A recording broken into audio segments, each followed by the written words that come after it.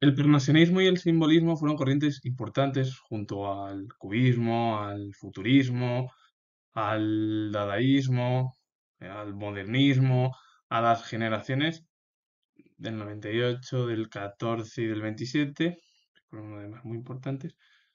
Y también, bueno, dejaron un huella, o bueno, dejaron una huella muy importante en la literatura eh, europea. El momento inicial fue la publicación entre 1866 y 1876 de una colección de poesías Parnasse contemporaine o Recueil de vers nouveaux, en las que el denominador común es la búsqueda de la perfección formal del sentimentalismo. Su precursor, Teófilo Gautier, que defendiendo el arte por el arte afirmaba desde el momento en que una cosa se hace útil deja de ser bella. Es decir, que al final algo que ya tiene utilidad, ya la belleza desaparece. Es como en cualquier eh, objeto, cualquier eh, movimiento artístico. Eh, figuras como Le Conde de Lis y Baudelaire, eh, Francia o en Cuba, José María de Heredia, buscaron en la antigüedad las mitologías griegas y nórdicas, el modelo de perfección formal. Baudelaire hizo evolucionar ese movimiento hacia el simbolismo. Claro, las explicaciones al final lo que cuentan es que es verdad que si algo ya eh, tiene gran utilidad, ese objeto, cualquier, no ese objeto, es decir, pues el sonido, música o cualquier cuadro y cualquier obra de arte va perdiendo ya su belleza. Al final es como si tiene una utilidad, la belleza desaparece. Y luego, bueno, figuras incluso en Francia, en Cuba, pues buscaron en la antigüedad las mitologías griegas y nórdicas. Es para tener ya ese modelo mm, perfección formal, tal. Y claro, Baudelaire lo que pasó es que con el parnasianismo lo hizo evolucionar hacia el simbolismo, que es el siguiente eh, término, y además muy importante en, bueno, en en el conjunto de las vanguardias que existieron a principios del siglo XX.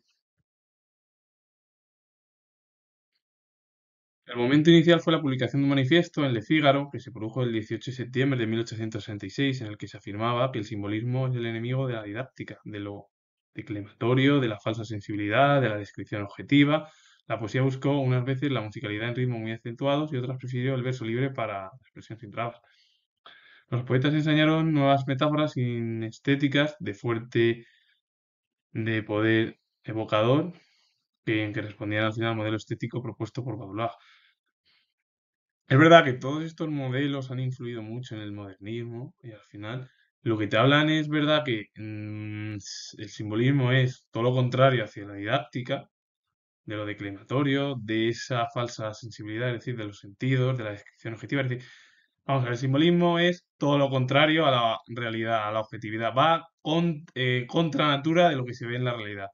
Es el resumen más o menos así y explicado de esa manera porque mm, algo que, por ejemplo, es, objetivo, es decir, si tú, por ejemplo, ves un objeto, a lo mejor en la realidad lo defines, lo describes y lo haces de forma empírica, es decir, en una ciencia eh, científica, pero claro, el, el simbolismo lo que hace son símbolos, es retratar, explicar y ir más allá a lo mejor de cualquier forma que se vea, es decir, no hace falta que sea un objeto, puede ser a lo mejor la realidad, es decir, librarte o irte de la realidad y hacerla de otra manera como recuperar a lo mejor tiempos del pasado. Mm, a lo mejor el periodo más importante que todo el mundo eh, bueno, conoce es el romanticismo. El romanticismo es romper directamente con el neoclasicismo y esa realidad que hay, que es mm, la recuperación de la Edad Media, de los símbolos del pasado, los sentimientos, pues todo. Entonces, claro, mm, si tú hablas del simbolismo es contrario, contrario a la didáctica, a lo declamatorio, a la sensibilidad, que es de la falsa sensibilidad, de la descripción objetiva, es decir, de lo declamatorio. Es decir, el simbolismo en sí es todo lo contrario. Porque si la didáctica es algo que está redactado, el simbolismo es todo lo contrario a algo que es irreal, que no existe, o que, bueno, que no existe, sí, también puede ser lo que está en tu imaginación, la imaginación de cualquier eh, persona. Y luego ha habido grandes figuras dentro de esta corriente que, bueno, pues fueron, por ejemplo, Verlaine, Marmaillet y Rimbaud, que fueron además eh, artistas o literatos eh, franceses muy importantes, o por ejemplo en Gran Bretaña, hablar de Oscar Wilde, poeta, dramaturgo, escritor irlandés, eh, de los dramaturgos más importantes de la época victoriana, pero ya de Londres victoriano tardío. Y fue una de las celebridades más importantes de su época por ser audaz y agudizo en su ingenio. Es decir, en todo ello. Y luego, por ejemplo, también han habido figuras mm, que no son tan conocidas, pero que han dejado un legado muy importante, por ejemplo, en Europa. Es decir, hablamos de Noruega.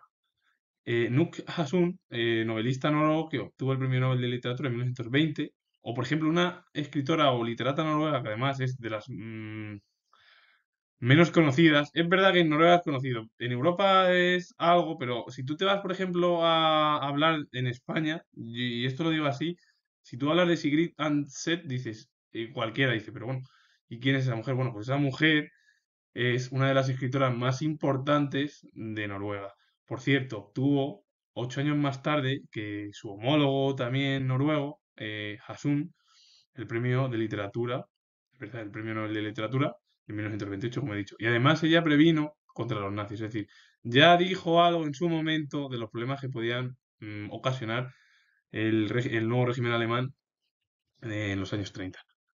Y luego, por ejemplo, figuras también en Alemania, bueno, pues Stefan Jost, que fue poeta y traductor alemán, o por ejemplo en España, si hablamos de España y decimos Juan Ramón Jiménez, Antonio Machado, bueno, pues estas figuras también estuvieron dentro del simbolismo, aunque claro, todo el mundo, todo el mundo podemos decir, o al final, a todos nos viene a la mente de que estas dos figuras fueron de diferentes generaciones. Eh, Antonio Machado fue de la generación del 98, junto a Unamuno, Pío Baroja, Ramiro de Maeztu, bueno, incluso más figuras dentro de ese grupo literario y demás, de los más importantes, por eso se conoce el año 98, esa generación como la Edad de Plata, porque fueron eh, grandes figuras, igual que la generación del 27 o Juan Ramón Jiménez, que fue de la generación del 14. Otra generación, igual que la generación del 27, como he dicho, tan importante y destacada en nuestro país, en el ámbito hispano.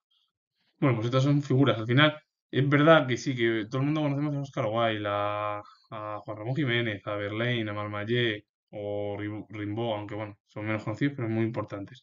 Pero luego, por ejemplo, te vas fuera de a lo mejor de lo continental o de los de lo más, de la situación más conocida de Europa, es decir, Alemania, Austria, eh, da igual, centro de mm, el centro europeo y si vas más allá, pues en Noruega hubo gente importante como Hasun o Sigrid Anset, o incluso, lo voy a nombrar, aunque nada tiene que ver, Kierkegaard, Kierkegaard fue un filósofo danés muy importante, muy conocido, pero que si tú hablas de Kierkegaard, aquí en España sí puedes hablar a lo mejor cuando das algo de literatura por la herencia que dejó junto a Schopenhauer y Nietzsche en los escritores de la generación del 98, por ese pesimismo, ese individualismo, esos problemas que veían muchos de los eh, artistas literarios en, en la España de su tiempo.